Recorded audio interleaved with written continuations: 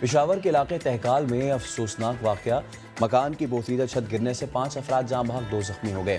لاش اور زخمیوں کو خیبر ٹیچنگ اسپتال منتقل کر دیا گیا۔ ٹھنڈے موسم میں سیاسی درجہ حرارت بڑھانے کی تیاریاں۔ شہباز شریف آج مولانا فضل الرحمان سے ملاقات کریں گے۔ وزیر اعظم کے خلاف تحریک عدم اعتماد منی بجٹ کو ناکام بنانے اور پی ڈی ایم کے لانگ مارچ پر مشاورت کی جائے گی۔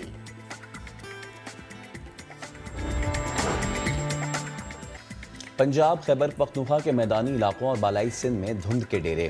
حد نگاہ کم ہونے پر motorway M two Lahore سے شیخوپورہ تک بند کر دی گئی۔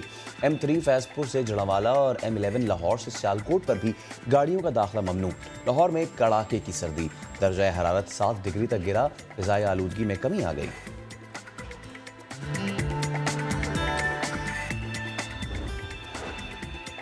گلیات میں برف باری کے بعد بحالی کا کام جاری۔ سما کی خبر پر انتظامیہ کا ایکشن۔ سول اسپتال کا راستہ کھول دیا گیا۔ دیہات کی رابطہ سڑکیں تحال بند۔ بجلی کی فراہمی معطل۔ سیاحوں کے داخلے پر پابندی برقرار۔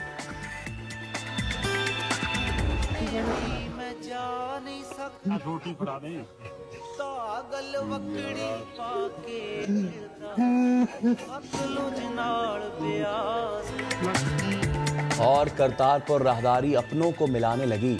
پاکستانی شہری اپنے بھائی سے ملنے کرتارپور پہنچ گیا۔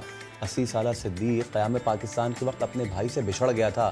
جذباتی مناظر دیکھ کر ہر آنکھ اشک بار۔